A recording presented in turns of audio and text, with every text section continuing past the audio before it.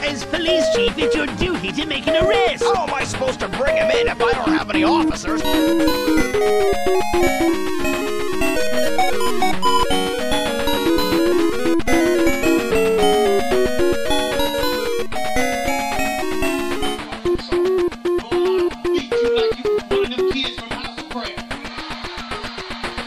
thank you